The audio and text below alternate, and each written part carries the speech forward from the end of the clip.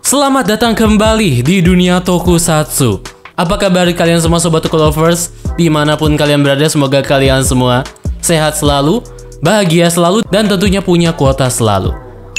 Trailer terbaru dari Kamen Rider Revised The Movie dan Avatar Sentai Don Brothers The Movie akhirnya telah dirilis oleh Toei hari Jumat pagi kemarin. Dan seperti biasa, kita akan sedikit bahas-bahas ya mengenai trailer dari Kamen Rider Revice serta Avatar Sentai Dawn Brothers The Movie ini. Perlu I ingatkan di awal-awal nih ya video ini dimulai, Kamen Rider Revice The Movie yang judulnya adalah Kamen Rider Revice The Movie Battle Familia serta Avatar Sentai Dawn Brothers New First Love Hero akan secara bersamaan dirilis dalam satu paket penayangan pada tanggal 22 Juli 2022 di bioskop Jepang. Bang, kalau Indonesia kapan Bang Indonesia? Itu sih ya tidak tahu ya. Ya semoga saja distributor Indonesia ada yang mau mengambil dan menayangkan film ini di bulan-bulan ke depannya. Kita langsung saja kalau begitu ya bahas serta breakdown trailer terbaru dari Kamen Rider Revised The Movie serta Don Brothers The Movie. Kita awali dulu dengan pembahasan Don Brothers The Movie. Di trailer terbaru Don Brothers The Movie ini, A tidak melihat sebuah hal-hal yang baru diperlihatkan di trailer ini, tapi kita bisa lihat di sini bahwa sekali lagi Don Brothers ini akan mengangkat seputar cerita para member Don Brothers yang mencoba untuk masuk ke dunia perfilman yang dibuat oleh sebuah perusahaan sepertinya ya. Kita bisa melihat di adegan ini ada seorang ibu-ibu yang sedang menyodorkan sebuah naskah film atau mungkin TV series kepada para member Don Brothers yang sedang bertarung melawan Hitotsuki atau mungkin Noto. Di sini mereka ditawarkan oleh ibu ini yang namanya adalah Reiko Mieda untuk menyuruh para member Don Brothers ini bermain di film mereka yang berjudul Shin Hatsukoi Hero atau artinya cinta pertama yang baru. Kita bisa lihat sendirilah di cuplikan-cuplikan trailer ini. Sepertinya di Don Brothers The Movie ini para member-member Don Brothers harus berakting di depan kamera menyesuaikan peran mereka masing-masing di dalam skrip film yang berjudul Shin Hatsukoi Hero yang dibuat oleh Ibu Reiko Mieda. Momoitaro serta Haruka di sini berperan dan berakting sebagai seorang murid di sebuah sekolah. Dan bila lihat di sini, dikisahkan mereka berdua ini akan terlibat sebuah drama cinta menyesuaikan judul dari filmnya sendiri. Bila tangkap, Momoitaro memang seolah-olah di sini dia itu berperan sebagai seorang siswa sekaligus seorang pahlawan yang di mana Momoitaro ini atau pahlawan ini diidolakan oleh Haruka. Bisa dibilang kisah yang tersaji di film ini sama persis dengan kisah Haruka di seriesnya sendiri di episode pertama bila teman-teman ingat ya, yang di mana Haruka sempat mengagumi Sonoi, salah satu pahlawan yang telah menyelamatkan hidup Haruka. Tidak hanya mereka berdua saja, kita juga bisa melihat Inuzuka ikut terlibat dalam pembuatan film Hatsukoi Hero ini. Dan yang lucunya si Inuzuka berperan sebagai seorang cosplayer yang berbentuk kuda ya. Kita juga bisa lihatlah Inuzuka ini sampai marah-marah karena tidak sudi gitu. Dia ini berperan sebagai badut kuda seperti ini. Secara mengejutkan juga Noto ikut bergabung dan syuting bersama member Don Brothers lainnya. Sonoi serta Sononi, kita bisa lihat mereka berdua menjadi anak sekolahan yang mungkin ceritanya mereka berdua ini adalah teman sekolah dari Haruka serta Momoitaro. Tapi sayangnya ya, itu si Sonoza harus berperan sebagai seorang zombie atau mungkin seorang musuh yang harus dikalahkan oleh Momoitaro di setting film Hatsukoi Hero ini. Tak lupa juga Hitotsuki terbaru yang muncul di film ini diperlihatkan. Ah masih belum tahu Hitotsuki ini itu mengambil dari Super Sentai yang mana. Tapi ada yang bilang Hitotsuki ini mengambil dari Super Sentai Ninpu Sentai Hari Kenger yaitu Ninpuki. Sepertinya sutradara pria yang terlihat di adegan ini dialah yang akan menjadi pelaku Hitotsuki di Don Brothers The Movie ini. Yang paling menarik ya, di akhir trailer Don Brothers The Movie ini, Ibu Reiko sempat mention kalimat Kamen Rider. Entah Kamen Rider di Don Brothers ini memang benar-benar eksis atau seperti apa nih? Secara keseluruhan, Don Brothers The Movie ini akan mengangkat sebuah keseruan cerita dari member Don Brothers serta Noto yang di mana mereka harus berakting di dalam sebuah cerita yang dibuat oleh Ibu Reiko Meida. Yang cerita filmnya sendiri berjudul Shin Hatsukoi Hero. Tentunya akan banyak sekali keseruan serta kekocakan yang diperlihatkan di film ini. Avatar Sentai Don Brothers The Movie Shin Hatsukoi Hero akan ditulis oleh tentunya Bapak Toshiki Inoue serta disutradarai oleh Bapak Ryuta Tasaki. Kita lanjutkan ke pembahasan trailer terbaru dari Kamen Rider Revised The Movie Battle Familia. Di trailer ini banyak sekali hal-hal baru yang diperlihatkan dan kita akan bahas secara bersama-sama di sini. Di trailer terbaru ini, kita bisa melihat sepertinya Mama Yukimi serta Papa Genta itu diculik oleh organisasi Triple Six, sebuah organisasi teroris yang akan menjadi musuh utama bagi trio Igarashi. Mama San serta Papa San diculik ketika mereka mungkin sedang ingin berangkat pergi liburan ke sebuah tempat. Dan di saat momen inilah para anggota organisasi Triple Six menculik Mama San serta Papa San atau mungkin bisa dibilang mereka ini membajak sebuah pesawat yang ditumpangi oleh mereka berdua. Kita bisa melihat trio Igarashi, George dan Hiromi Kadota mereka tentunya ditugaskan untuk menyelamatkan Mama San serta Papa San yang sedang ditawan di area Triple Six, area atau markas utama dari organisasi teroris Triple Six. Di trailer ini, akhirnya kita diperlihatkan oleh musuh utama dari trio Igarashi Basudara. Eh maksudnya bersaudara ya, yaitu ada Azuma yang akan menjadi Kamen Rider Daimon. Kamen Rider terbaru sekaligus musuh utama di film ini. Betul sekali ya teman-teman, Azuma ini aktornya sendiri merupakan alumni dari cast Ninja Sentai Kaku Ranger sebagai Ninja Black.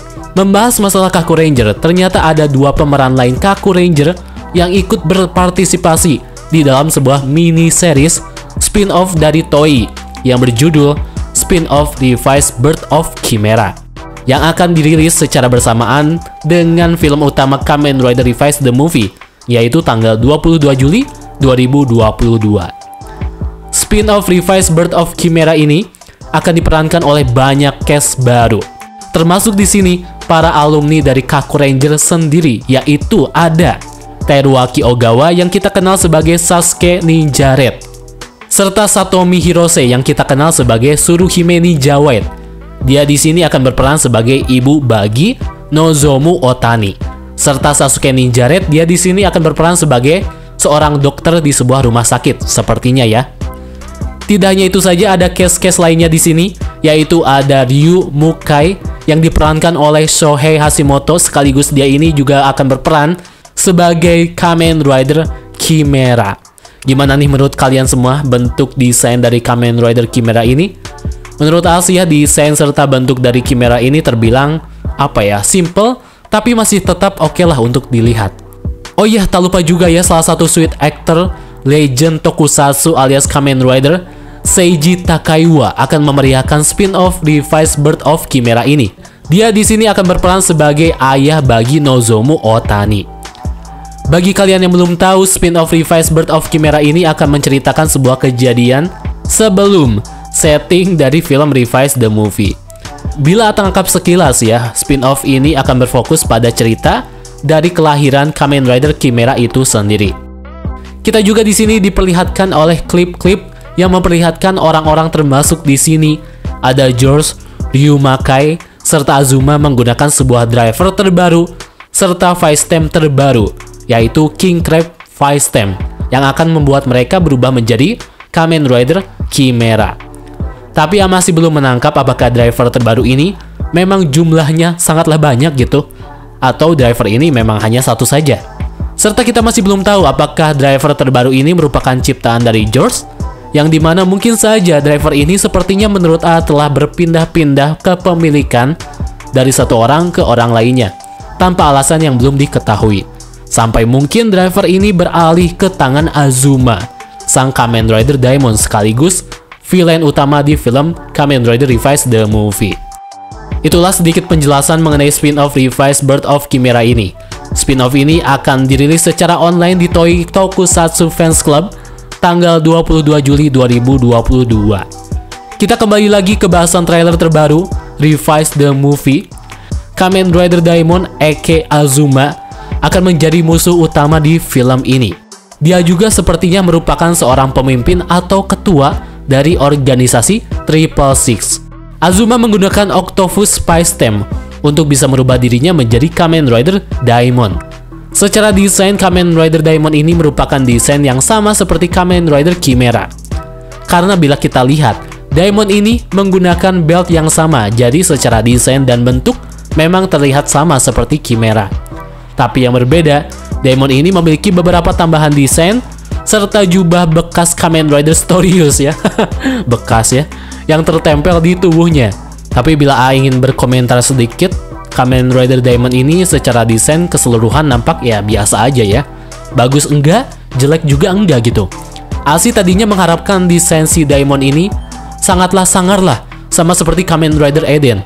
Tapi ternyata ya hasilnya biasa saja ya menurut A. Kalau menurut teman-teman gimana nih desain si Kamen Rider Diamond ini? Bagus atau biasa saja? Jadi siapakah sebenarnya si Azuma ini? Bila searching ya, Azuma ternyata merupakan seorang yang pernah melakukan kontrak dengan Gifu Sama. Dia melakukan hal itu demi bertujuan untuk mendapatkan hidup yang abadi, sama halnya dengan Akaishi.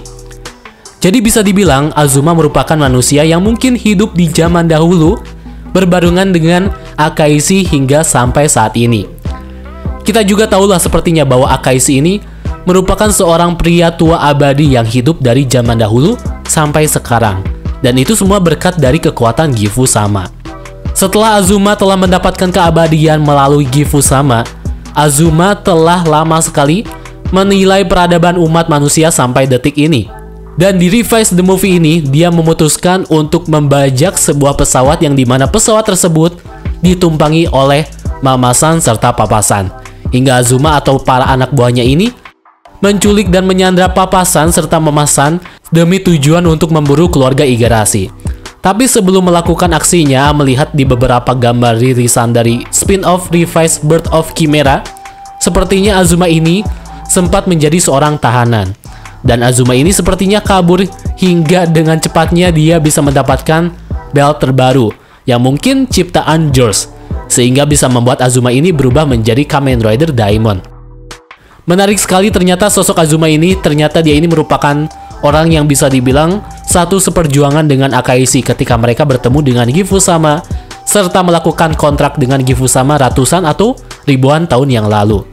Spotlight lainnya di trailer ini kita bisa melihat iblis dari trio Igarashi keluar atau terbebas dari tubuh trio Igarashi. Nah ini menarik sih. Ada Vice yang memiliki tampilan yang sangatlah berbeda dengan mata merah yang menyala membuat Vice ini terlihat sangatlah menyeramkan. Dan tak lupa juga ada Kagero, aka Kamen Rider Evil. Kamen Rider yang dirindukan oleh kita semua, si Kamen Rider Evil aka Kagero akan kembali di film ini. Dan yang terakhir, ada Rabukofu. Nah ini, terlihat jelas sekali ya, Rabukofu memiliki wujud atau penampilan yang sangatlah berbeda. Jadi kenapa trio iblis Igarashi ini bisa keluar dan terbebas seperti ini? Bila teliti kemungkinan besar ini semua diakibatkan dari Kamen Rider Diamond. Diamond yang usernya sendiri adalah Azuma, yang di mana Azuma ini merupakan orang yang terikat langsung dengan Gifu sama, memiliki sebuah kemampuan untuk bisa memisahkan iblis milik trio Igarashi keluar dari tubuh mereka. Dan dia juga bisa merubah iblis-iblis mereka ini menjadi jahat, membangkang, dan menyerang trio Igarashi. Tentu Azuma yang merupakan keturunan dari Gifu Sama. Bila dia berubah menjadi Kamen Rider, dia tentunya akan sangatlah overpower. Kekuatan Gifu Sama serta kekuatan Kamen Rider digabung menjadi satu. Pasti akan sangatlah OP ya. Lanjut lagi ke karakter yang mungkin akan menjadi kunci di film Revise the Movie ini, yaitu ada Nozomu Otani yang diperankan oleh Issei Mamehara. Ah masih belum tahu dia ini siapa, dan sangkut pautnya apa dengan film Revise the Movie ini. Tapi bila kita lihat ya, atau mungkin tahu, Nozomu Otani ini dimunculkan juga di spin-off Revise Birth of Chimera. Jadi ada kemungkinan Nozomu ini ada kaitannya dengan Revise the Movie. Terlebih di bagian awal trailer Revise the Movie ini kita bisa melihat Nozomu Otani menjadi penumpang satu pesawat ya dengan mamasan dan papasan. Terus disambung lagi ada satu adegan yang memperlihatkan Nozomu Otani ini merebutkan sebuah driver yang sama dipakai oleh Kamen Rider Diamond. Di adegan ini apakah Nozomu Otani akan berubah menjadi Kamen Rider Chimera? Atau Nozomu Otani akan berubah menjadi Kamen Rider terbaru yang akan muncul di Revise the Movie ini, bukan Kamen Rider Chimera. Membahas masalah Kamen Rider terbaru, Ah, dan mungkin teman-teman semuanya sudah tahu bahwa akan ada Kamen Rider terbaru yang sempat dimunculkan di poster Revise the Movie ini. Nama dari Kamen Rider ini katanya ya bila dapat informasi di internet, namanya adalah Kamen Rider Overveil. Sama ya teman-teman pelafalannya dengan Kamen Rider Over Demons. Terus terang ya desain si Overveil ini beneran keren banget sih ya, beneran keren banget seriusan. Secara bentuk dan desain memperingatkan AA dan mungkin teman-teman semua dengan desain Zero One Assault Hopper atau mungkin Vulcan Assault Wolf. Kita bisa lihat di sini bahwa Fail Driver, driver yang pernah digunakan oleh Genta Igarashi akan digunakan kembali. Tapi bedanya, Fail Driver ini ditambahkan sebuah ornamen power up part ya, power up part di samping kanan dan kiri Fail Driver tersebut. Hercules Vice Team akan menjadi Vice Team utama bagi user tersebut untuk bisa berubah menjadi Kamen Rider Overveil. Nah, yang menjadi pertanyaan kita semua, siapakah user dari Kamen Rider Overveil ini? Apakah papasan akan kembali beraksi dan akan berubah menjadi Kamen Rider Overveil? Atau mamasan tercinta kita yang kali ini di movie ini, dialah yang akan berubah menjadi Kamen Rider, yaitu Kamen Rider Overveil. Atau ya, A memiliki satu teori yang lumayan liar ya mengenai siapa user dari si Kamen Rider Overveil ini. A menduga-duga ya kemungkinan besar user dari si Kamen Rider Overveil ini adalah mamasan serta papasan alias mereka berdua akan fusion menjadi satu sehingga menghasilkan sebuah rider terbaru bernama Kamen Rider Overveil. Ini sama halnya dengan kasus Kamen Rider Century yang di mana user Kamen Rider Century ditunggangi oleh dua orang. Bagaimana nih menurut kalian? Siapakah user dari si Kamen Rider Overveil ini? Apakah papasan? Atau memasan? Atau siapa? Kita sudah mengetahui bahwa akan ada Deadman terbaru yang akan muncul di film ini. Ada Masato Soutomi yang memerankan sebagai Norito Yoshima. A masih belum mengetahui peran dia di sini sebagai apa, tapi bila A lihat di trailer, dia mungkin adalah seorang scientist sama halnya seperti George Masato Sotomi ini juga sekaligus merupakan Deadmans yang berbentuk seperti Joker yang terlihat di gambar ini.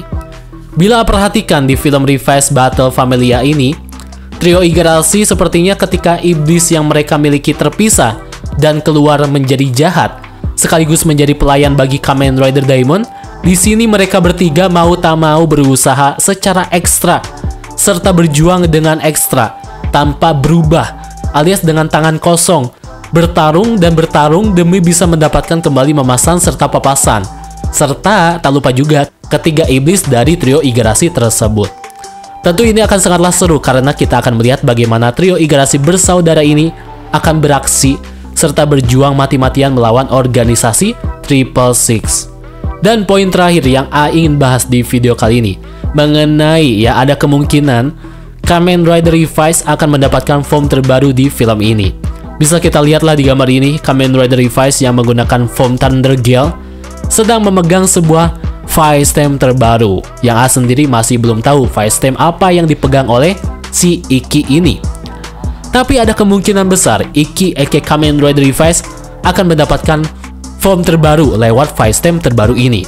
Nah, tapi A sedikit curiga ketika adegan ini diperlihatkan. Kita bisa melihat trio Igarashi Iki, Daiji, serta Sakura meragakan pose Henshin dari Iki, Daiji, serta Sakura. Dan entah kenapa merasakan bahwa form terbaru dari Revise ini akan merupakan sebuah form gabungan alias fusion dari trio Igarashi bersaudara. Alias Iki, Daiji, serta Sakura akan bergabung menjadi satu, sehingga menghasilkan bentuk Kamen Rider terbaru. Bila teori yang beberkan ini benar-benar terjadi, bisa dipastikan Kamen Rider Revise form terbaru ini serta Kamen Rider Overfell merupakan Kamen Rider yang dua-duanya merupakan hasil fusion dari mamasan serta papasan serta trio Igarashi bersaudara. Bagaimana nih menurut kalian mengenai hal ini? Komen di kolom komentar di bawah ya. Kamen Rider Revise The Movie Battle Familia seperti yang prediksikan jauh-jauh hari Film ini akan disutradarai oleh Koichi Sakamoto, sang rajanya action tokusatsu. serta akan ditulis oleh tak lain dan tak bukan Bapak Hanta Kinoshita.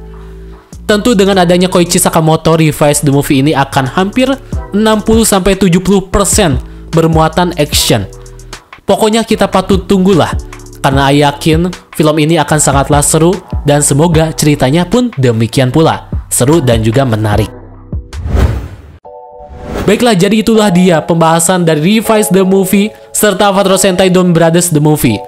Bagaimana nih menurut kalian semua? Apakah kalian menunggu sekali film ini? Atau mungkin kalian punya koreksi, opini atau tambahan yang akan terlewatkan? Silahkan tambahkan saja di kolom komentar di bawah. Sekali lagi Revise the Movie serta Don Brothers the Movie ini akan ditayangkan secara bersamaan serentak di bioskop Jepang pada tanggal 22 Juli 2022. Terima kasih bagi teman-teman yang telah menonton pembahasan video ini dari awal sampai akhir. Bila kalian punya tambahan, saran, atau apa pun yang akan terlewatkan, silahkan tambahkan saja di kolom komentar di bawah. Dan mohon maaf apabila ada kesalahan ketika membahas video kali ini ya. Baiklah mungkin itu saja teman-teman pembahasan video kali ini. Terima kasih yang sudah menonton. Kalau begitu apa pamit undur diri. Terima kasih dan sampai jumpa.